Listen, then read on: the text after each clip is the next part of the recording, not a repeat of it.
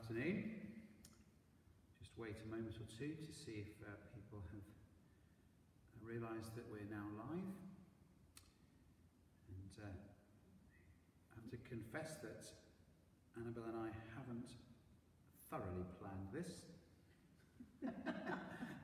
so We've we, reflected a bit. we have, yeah, no, we have. Uh, uh, I've got a story to tell yeah, later. no, you have. No, I yes, I should I'll rephrase it. I haven't fully planned this. Annabel has come prepared, is really good. Um, so today we're going to be um, thinking back to this last Sunday uh, to refresh our minds, and it was the week of prayer for Christian unity. We had a great time joining together with Martin and Carita from Oundle Baptist Church, and we looked at the story of uh, when Jesus turned water into wine, and we reflected on what that meant. Welcome, Angela. Thank you to Angela for putting that comment in. It's really good to know who people are joining us. And what would be really helpful for Annabel and I would be if there are questions that um, come to mind, either from what we talked about on Sunday or uh, questions you have since, or if you weren't with us on Sunday and we're going to listen to this story for the first time uh, today, then what questions come to mind? And um, well, my, my phone pinged again because I noticed that Mark, the curate, is going live as we speak in Roade down in uh, the south of the Oh, county. right. Picked up habits from being in Oundle. Uh, and also Julia and Robin have joined us. So welcome, Julia and Robin. Nice to have you. And one thing I was really conscious of on Sunday, um, Annabel, was that, uh, and I, I think I'm guilty of this quite a lot, of I, I like to paint big pictures and ideas and, and I, like painting the world and all really good to have this opportunity for us to explore. Okay, so Monday to, to Saturday, what does that look like? Yeah. And how do we how do we make, paint colour in our community? Yeah. Welcome, Cynthia. Good to have you with us. hmm Um, well, the church is catching up with us. It's chiming 12. Yep. And Kim is with us as well. Good to have you join us, Kim. Um, so, the time that Jesus turned water into wine, what does that make you think about? What questions does it raise for you? Um, do put your reflections and thoughts and comments and ideas. Um, And if you want to find it, it's John chapter 2. good, good point. Page 1005 in my Bible. Yep. Um, might be different in yours. And also, uh, there might well be things you'd like us to be praying for together as a community as we gather, and you might want to pop those in the chat too. So, should we pray? And then um, let's read this together. hmm Do you want to lead us in prayer? Yeah. Father, thank you for this opportunity again to meet and reflect around your word, your living word that can still speak to us today. So will you come by your Holy Spirit and meet with us wherever we are? Help us to know that you are with us and guide us and lead our discussions now. In the name of Jesus we pray. Amen. Um, so, John chapter 2. So, if we just keep switching paragraph by paragraph. Sounds a good idea? On the third day, sorry, this is John chapter 2, verse 1. On the third day, a wedding took place at Cana in Galilee. Jesus' mother was there, and Jesus and his disciples had also been invited to the wedding. When the wine was gone, Jesus' mother said to him, They've no more wine. Woman, why do you involve me? Jesus replied. My hour has not yet come. His mother said to the servants, Do whatever he tells you. Nearby stood six stone water jars, the kind used by the Jews for ceremonial washing, each holding from 80 to 120 litres. Jesus said to the servants, Fill the jars with water. So they filled them to the brim. Then he told them, Now draw some out and take it to the master of the banquet. They did so, and the master of the banquet tasted the wine that had been, sorry, the master of the banquet tasted the water that had been turned into wine. He didn't realize where it had come from. though the servants who had drawn the water knew. Then he called the bridegroom aside and said, Everyone brings out the choice wine first, and then the cheaper wine after the guests have had too much to drink. But you have saved the best till now. What Jesus did here in Cana of Galilee was the first of the signs through which he revealed his glory, and his disciples put their faith in him. After this, he went down to Capernaum with his mother and brothers and his disciples, and they stayed there for a few days. Excuse me. Bless you. Thank you for that prayer request, Julie. We'll certainly um, uh, uh, keep Joe in our prayers. To prayers a little bit later in our service. So, um, anything strike you afresh this morning? Um, Yeah, I think just lots of things. I think it, it just always staggers me, this passage, just the Yeah. abundance of wine and the, yeah, the fact of that being just a sign of, of God's phenomenal grace. yeah, You know, he could have just changed one jar and that would probably have been enough yeah, for the wedding, but he chose to do yes, six Yeah. and just hundreds and hundreds of litres of, yeah, of wine. yes, Um, absolutely excessive, and I think that just reminds me again how just excessive Yeah. God's love and grace yeah, is for us, isn't it? yeah. Um, There's a question uh, which is um, we didn't, didn't have time to explore on Sunday, and I don't know the answer to. I just raise it, and it's always puzzled me, but something to explore and think about. Maybe not now, but um, is Jesus saying, "My hour has not yet come"? What, why do you involve me, mother? You know, and but then then he does it anyway, and so I, you know, there's, there's a questions in my mind: is if it's not the time for what, why? Do you see what I mean?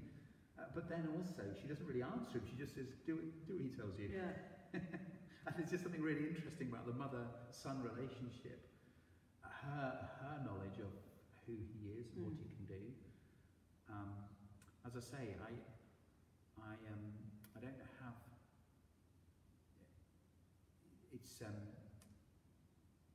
I don't have full answers to that. I just find it a really interesting Mm. exchange. Um, I wonder, for me, what some of it maybe is just her, almost her pride in him. Yeah. She knows that he can, he's got the most amazing things yeah, within him that he, and she's just longing for him to kind of show the world at the time a new way of living and That's really the kingdom of. God. And so it's almost like, kind look at my, look at my son, look, come on, guys. Well, that's really interesting, isn't it? So, Yeah, verse 3, know. the, the wine's run out, so they've got a domestic crisis here, the wedding Mm. party's going wrong. And so, interesting, you go to one of the guests and she says, uh, You know, son, I think. think now, is she thinking, uh huh, I know what Jesus is going to do here, or, or he'll, he'll Yeah. sort out some wine? Or is she just thinking, he'll know what to do? Mm. Uh, um, and um,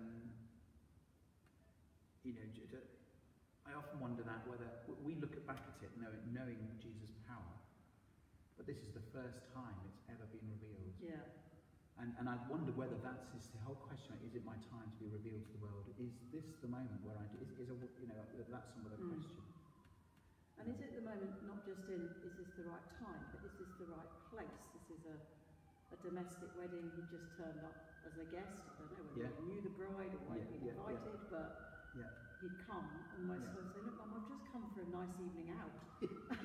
yeah, I'm not at work now. yeah. so, now you're asking me to do something amazing.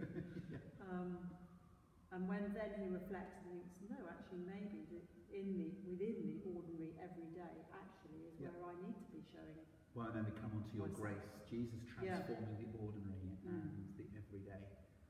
That this is, that as, as we reflect on Sunday, this his first miracle is something that seems quite gratuitous. Mm. And you talk just there, you know, the overflowing abundance of God's grace transforming an everyday difficult situation. Mm. Um, I think as you talk about that, it's like, do we expect God to transform our everyday struggles and challenges yeah, You know, we kind of expect when we probably met in church, there was probably, hopefully a certain expectancy when we came to church that Yeah. we might meet with God. Yeah. Because we're coming into a religious building and Yeah. we're doing all the religious Yeah. things. But do we actually expect God to meet us on Wednesday lunchtime, Yeah. sitting at home now? Yeah. Um, So that um, uh, we use the phrase cloud juice on Sunday, and that Mm. sort of uh, special drink on a Sunday and ordinary. Do we expect God to transform the ordinary and the everyday, yeah. Monday to Saturday? Mm. Because that actually is what the Christian life is about. It's Yeah. about walking with Jesus each and every day. Mm. Um, I wonder what you think as you watch today. How might Jesus um, uh, transform and be present in our everyday? Um, I'm just wondering, Annabel, as these different requests come in, whether Yeah. we just pause and pray Yes, for these people. I think that might be good. Mm. Um, so, All of whom actually need God's grace and transformation yeah. in their difficult situations. Yeah. So let's just pause as we think about this story and let's pray for um, Joe um, and give thanks for Barry and pray for her and for Peter and Shirley. Heavenly Father, we lift um, Joe to you now and ask that you might know her love, your love and your presence with her today.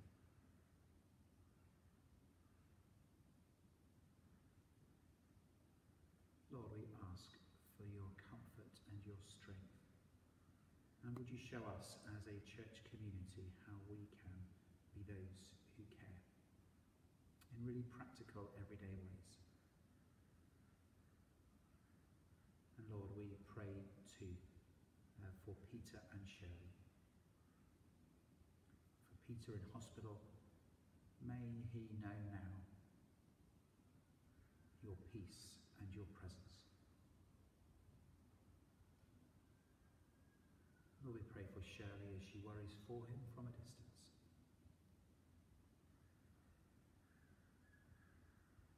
Lord, we lift them to you, asking for your healing, your blessing. And Lord, again, we pray that as a church family, you will show us how to be family together and care for one another.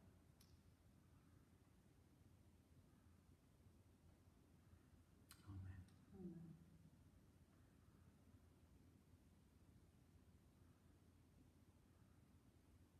Pray, Lord, for the doctors and nurses caring, particularly for Peter. Lord, will you give them wisdom to know exactly what to do? Will you give them strength and gentleness? Lord, we ask that he might be in just the best place for him at the moment.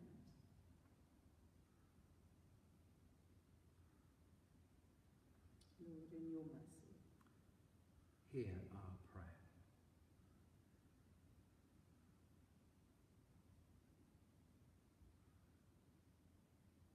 Amen. We'll pray again a little bit later in service, Mm. but um, maybe these are examples, as you were saying, Annabel. Uh, we talked about the ordinary everyday and Jesus taking that ordinary everyday represented by the tasteless water and, and making it into this wine. Mm. And I guess for these situations we prayed for, as you said, how can we be praying that God's rich, loving presence might be known in that situation? Mm. Um, so thank you for those who put those prayer requests. Mm.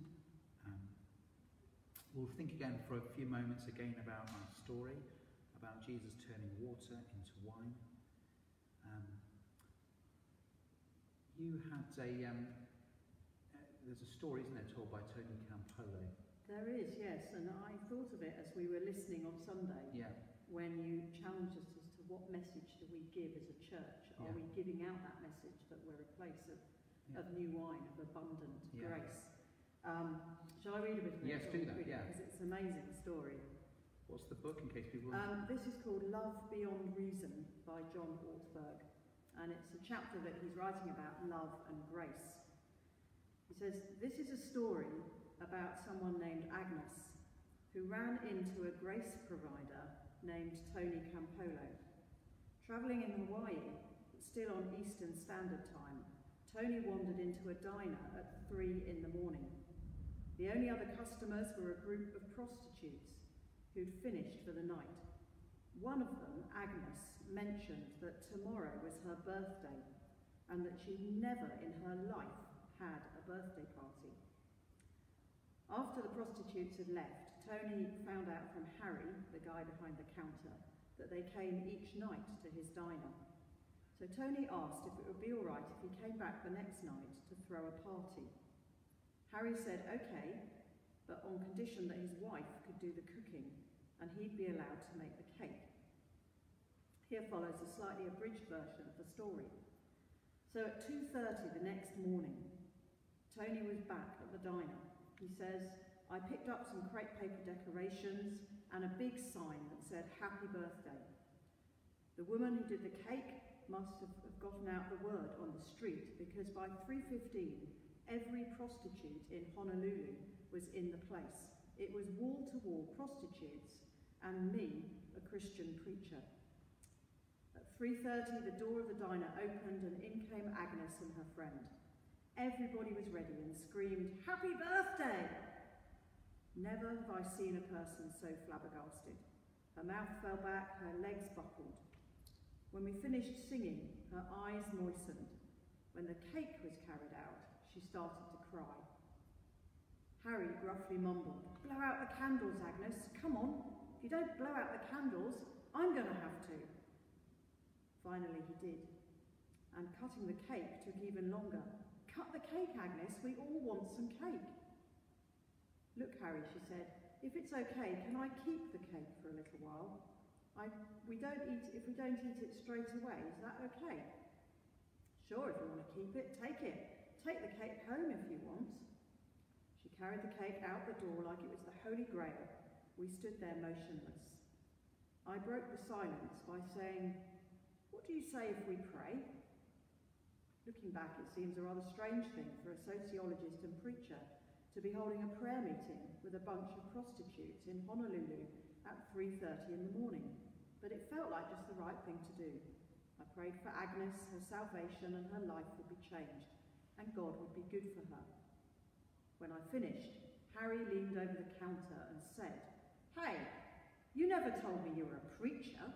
What kind of church do you belong to? In one of those moments, just the right words came. I answered, I belong to a church that throws birthday parties for prostitutes at 3.30 in the morning. Harry waited a moment and almost sneered as he answered, No, you don't. There's no church like that. If there was, I'd join it. Wouldn't we all love to be in a church that throws birthday parties for prostitutes? That's the kind of church Jesus came to create. I don't know where we've got the other one that's so prim and proper, but anyone who reads the New Testament knows Jesus loved to lavish grace on the left out and the used up and the put down. Sinners loved him because he parted with them the lepers of society found in him someone they could eat and drink with. This is the church the way it's supposed to be. Which I find just, just really mind-blowing yeah. as a story. But I think it just echoes, for me, it echoed what was here, that actually, you know, just pouring grace, totally unexpected. Yeah. And we're probably not going to potentially encounter with the prostitutes in Oundle. I wouldn't want to suggest they're there, but actually, who are the people who might not expect us to kind of lavish grace on them? Yeah. That might just blow their mind away. It might even be a neighbour that we turn up and cook a meal for, or that people's encounter of church and the encounter of us as a church community is of people who exhibit grace. Yes, yeah. And I think there's something there about um, we do that because we have been shown grace. Mm. it's it's um, a kind of a cy- constant cycle, isn't it? That, that God pours out his unconditional love on me, Yeah. and therefore I have the resources to pour out Mm. that kind of grace and love to others. Yeah. Um, And for me, I think that's the other challenge because I then start questioning myself and think, but I don't deserve right? this grace. So Yeah. how, you know, this is just amazing that God's got this grace, but do I dare allow myself Yeah. to be lavished and drenched in his grace and love Yeah. so that I can give it away? We deeply have this feeling, don't we, that we've got to earn it. And I think Yeah. that's the conversation that Jesus has all the way through the Gospels with the Pharisees, um, who often, in particular, exemplify this. We've got to get there on our own merits. We've got to have Yeah. earned it. We've got to have achieved. And why, why are you including all these people Mm. who haven't achieved things? Yeah. And um, and so at the wedding, it's interesting, isn't it, that Jesus could have said, well, why were you not better organised? Mm. Why didn't you think about this beforehand? Why have you run out of wine? Um, why have you been drinking so much? Yeah. yes. You know, it, the question isn't, well, is, are these worthy recipients of Mm. this? Is a wedding and this occasion really worthy of, of, of God's action? Mm. That's not the question. It's just, or Jesus doesn't ask that question. It's just a free gift overflowing, Mm. and the sign is this is this is what is to come. Yeah. Um, so as you say, do we believe that for ourselves? Uh, and I think it's a really hard thing to believe for ourselves. I think there's a deep instinct in me that wants to stand before God and say, God, these are my achievements. This is what I've done. Thank you for your help, but Yeah. you know, I've, I've, I've got here. You know, it's been a joint effort, and I've got here partly on my merits, Mm. um, uh, rather than uh, believing that it's all grace. Yeah. Yeah. Um, so, But I think as we un- as we start to understand that in ourselves, we then become very generous Yeah. people because actually we don't deserve anything, but God has given us so much Yeah. that actually we just we can freely give it away because actually whether it's our time, our resources, whatever it is. um, maybe it takes a lifetime for the penny to drop, but the Mm. penny, begin, uh, it's something I keep returning to, that everything, to see everything, everything as a gift. Mm, This um, the amazing world I live in, the beauty of creation, this extravagance of, of the just extent and vastness of creation, and, Mm. and then the um, extravagance of creation where we in our world, um, and um, you know the breath that I take, the everything I have is a gift. And when I begin to see that everything I have is a gift from God, then suddenly mm, it becomes easier share and to give because it's not mine to hold on to. yeah, yeah, But it takes a long time to grasp. yeah. Um, I wonder what you, you're thinking as you're listening in, whether any of those um, ideas strike a chord with you. So, we were asking on Sunday, what does it look like then to be this community of grace? What does it look like? We talked about paint pots and painting the world Mm. bright. And I wonder whether some of our experience over Christmas, uh, probably best not to go into too many details, but their Friends in Need Fund and the ability to say to people, here's a gift from the church, uh, because we, we recognise that you're going through this difficulty or that difficulty. Yeah.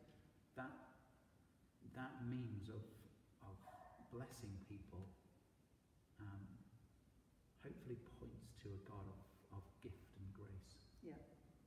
And, and I think seen some fruit from that. Yes. Um, certainly, you know, there was a situation where I was able to Yeah. them with it, and they and they really similar to Agnes in that story. They Yeah. couldn't quite believe that Yeah. a church would would, would do that Yeah. with our, what I was offering to them. Yeah. Um, they've talked about. We've had feedback that they've actually talked about nothing else since almost. Okay. But, Yeah. um, Yes. So I wonder uh, for each, for you and me, uh, um, for, for you and me, and for those watching at home, I wonder uh, what opportunities there might be this week. Maybe we could ask God to show us if there's someone we can lavish grace upon, mm, um, Yeah. and also to reflect on how we might have had to reflect on those things that God has given us, the grace He's lavished on us. yeah. Um, So, what's the time? Is it, uh, is it time to pray? It's 25 Yeah, past, so we- probably is time to pray. Yeah. Mm. Let's pray together. And um, we can continue to pray for those needs that um, Julia and Diana have mentioned. Mhm. And we can give thanks for, we were talking to Emily Taylor this morning and hearing about the vaccine rollout, and that was really encouraging. Um, we can give thanks for that. We can also be praying for our hospitals. And as we're seeing from our prayer requests, the people who are in real need at the moment. Mm. Um, Absolutely. yeah. So let's, let's pray together. Yeah.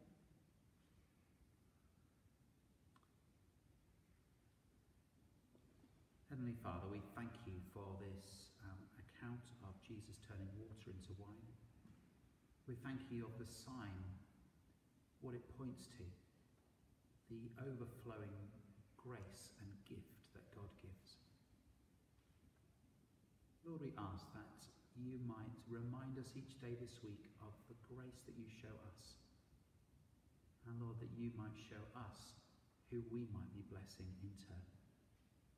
Lord, in your mercy, hear Yeah, our prayer.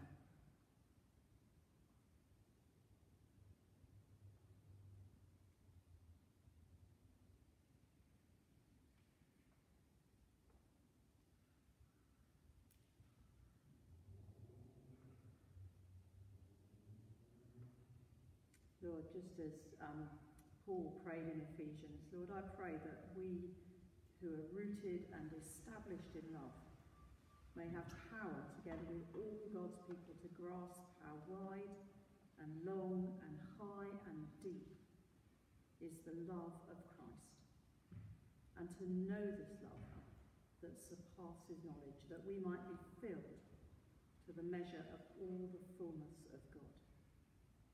Lord, that we might know your love that reaches into the good times in our lives, reaches deep into the difficult times that we face at the moment, that stretches out to all those that we know that are in need, to our families that we can't be in touch with at the moment, and that is a love that continues, that it was with us when we were born, and it's with us throughout the whole of our life. Lord, reveal to us afresh your love and your grace today. Lord, in your mercy. Hear our prayer. Heavenly Father, um, we do thank you for good news in these days when there's been um, so much also that is um, sad. Lord, we thank you for the continued rollout of the vaccine. We thank you for all the volunteers who have enabled that to happen, for the real community spirit there is in many of these vaccine places and centres. Lord, we thank you for our NHS and for our doctors and medical staff. Lord, we thank you for the scientists and their skills in developing these medicines. And Lord, we pray for um, the giving of vaccines to continue at pace. And Lord, we also pray for those parts of the world where it will be more difficult to get hold of vaccines, where they may still be some way off. Lord, we thank you for all those who are working to ensure that vaccines can be provided um, at a, cheap cost for nations where that's important. And Lord, would you help us as we give thanks for our own vaccine rollout, also to be a people that are generous and looking to the needs of others around our world. Lord, in your mercy, hear Yeah. our prayer. Lord, on this day when we um, remember, and tragically we've bridged the 100,000 deaths from COVID, Lord, we hold before you the, the families in our country who are grieving. Lord, will you be their comforter? Will you be their strength in weakness? And Lord, maybe we hold specifically before you people that we know, who have lost their lives to COVID.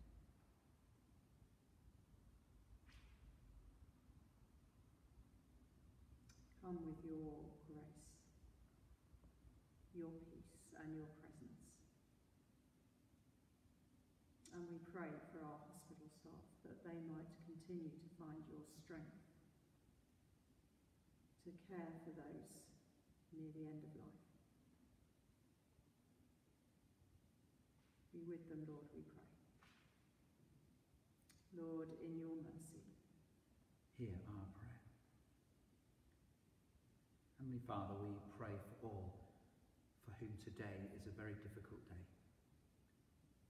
Lord, we prayed for Joe and for Peter and for Shirley. We continue to pray for them, that you might be their strength this day. Lord, we lift up others known to us in our church family and in our community. In a moment of quiet as we connect with this service wherever we are, let's name before God those known to us.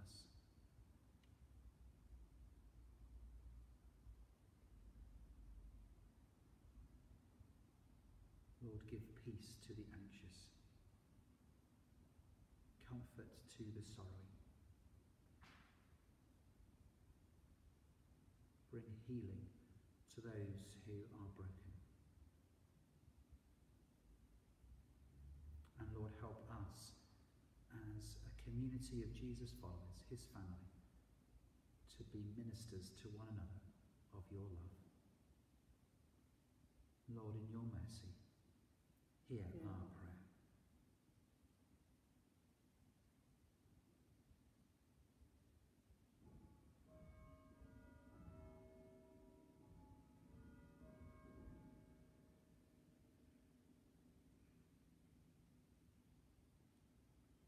so shall we join in with the words of the Lord's Prayer together? Our Father in heaven, hallowed be your name. Your kingdom come, your will be done on earth as it is in heaven. Give us today our daily bread, and forgive us our sins, as we forgive those who sin against us. And lead us not into temptation, but deliver us from evil. For the kingdom, the power, and the glory are yours, now and forever. Amen. Thank you for joining with us this uh, Wednesday lunchtime. Do continue to pray for one another and those needs that we prayed for today. Um, this Sunday service, we're looking at the call of the disciples um, and uh, from Mark's Gospel. So do tune in, and it'd be great to join in together for that service. And then there'll be midday prayer tomorrow, uh, as usual, at 12 o'clock. which I'm leading. Okay, yes. And um, also be looking out for the um, the prayer course that's coming up, an opportunity Yes, during absolutely. Yep, there'll be information about that in the newsletter. Lent. Yeah. Enjoying really helpful course to help us find ways to engage with God. If you don't yet belong to a small group, um, that will be an opportunity, if you'd like to, to join one and to explore um, through the weeks of Lent what it means to pray and what Jesus taught us about prayer. So, yeah, do join in with that. Great. Good to be with you this uh, Wednesday lunchtime. Have a good rest of your day, and uh, we'll see you again in another way soon.